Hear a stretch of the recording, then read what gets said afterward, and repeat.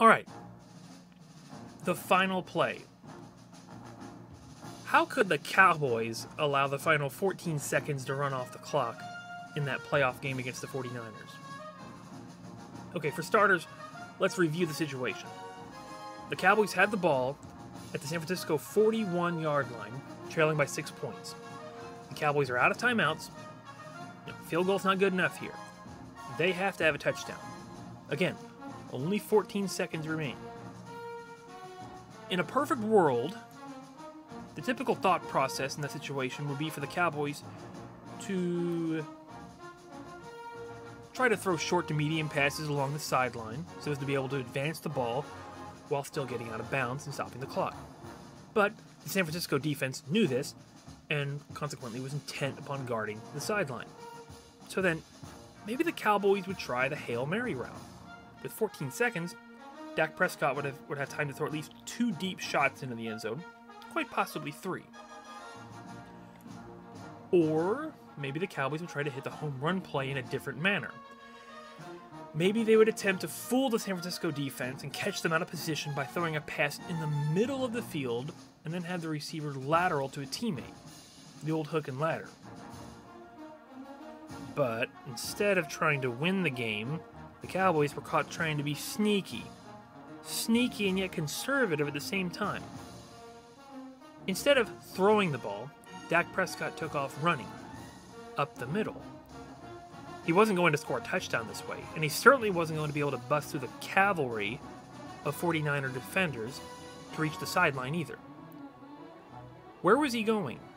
And what was he doing? As we now know, Prescott scrambles upfield and slides down at the 25 yard line.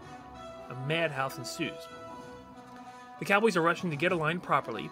It looks as if Prescott will be able to spike the ball with about three or four seconds left, but then an official runs in and resets the ball about two or three feet back, causing everyone in Cowboy Blue to back up a half step. By the time Prescott finally did spike the ball, the clock had expired. The game and the season was over for the Cowboys. If you live in Texas like I do, then you know that Cowboy fans are still talking about this play. And, you know, for good reason. Some people want to blame the coaching staff for even attempting a draw and laying everything on the line for just a chance of one Hail Mary from the 25 yard line. Some people want to blame the umpire for costing the Cowboys time. Some people want to blame Prescott for running too far before sliding. But, in my opinion, who's to blame? You know, that whole end of the game situation reminds me of a play from a Cowboys game in 2002 against St. Louis. The score was tied 10 to 10. The ball was on the Rams' 35 yard line with 13 seconds remaining. The Cowboys were out of timeouts. Rather than send out Billy Cundiff to attempt a game winning field goal, Cowboy head coach Dave Campo, known for many questionable coaching decisions during his tenure in Dallas, he opted to try to get a few yards closer. So the world watched in awed amazement as Quincy Carter completed a short dart to Ken-Yon Rambo, who was immediately tackled in middle of the field. The ball was spotted as the Cowboys rushed to the line, the ball was snapped, and Carter spiked it. One second remained. Moments later, Cundiff booted the field goal through through the uprights to give the Cowboys a 13 10 victory. That moment from that game of nearly two decades past, you know, it provides the perfect illustration of the importance of practice and attention to detail. Campo said afterwards that the team had practiced, practiced for just such a situation, so he wasn't worried about time expiring. He knew the plan would work.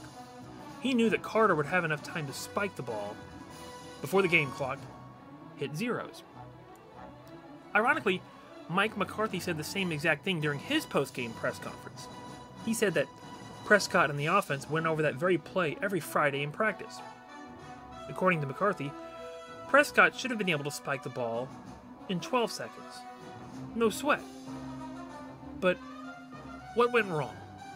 Why did it work out for Campo and not for McCarthy? Well, the obvious answer would be, would be the amount of distance covered from the original line of scrimmage. Quincy Carter's pass to Ken-Yon Rambo was only was for only five yards. Prescott scrambled about 16 yards. That's one difference. The other difference is the critical difference, and that is related to the pre snap position of the umpire. Back in 2002, the umpire was situated in the vicinity of the linebackers in the defensive backfield. So Rambo's catch actually came right next to the umpire. And since Rambo made the catch between the hash marks, the umpire only had to move, what, three or four steps to mark the ball before then getting out of the way so the Cowboys could align and Carter could kill the clock. Everything was perfect. But things are vastly different in 2021. Now, the umpire lines up deep in the offensive backfield. So, in the case of Prescott against the 49ers, the umpire had to run about 25 yards to reach the ball, then pick it up and reset it. Mike McCarthy insisted the Cowboys were prepared for the situation. You know, they practiced the same drill every Friday. But I disagree wholeheartedly. The Cowboys were not prepared. You know, they, they may practice it every Friday, but they don't practice it with an officiating crew in attendance. And that fact was very evident. If if the Cowboys were truly prepared for that situation, then they would have known that the umpire had to personally spot the ball before Prescott would be allowed to clock it. You know, they, they would have gotten out of his way in order to let the ump do his job. But instead, they got down in their stance, and speaking of the offensive line, the offensive line gets down in their stance, and they got in the way, allowing what? Another one, maybe two seconds to elapse? All those factors that I just mentioned are the difference in four or five seconds. That's the difference in having another chance to win a win a game and, and being eliminated from the playoffs. Just little things. Attention to detail.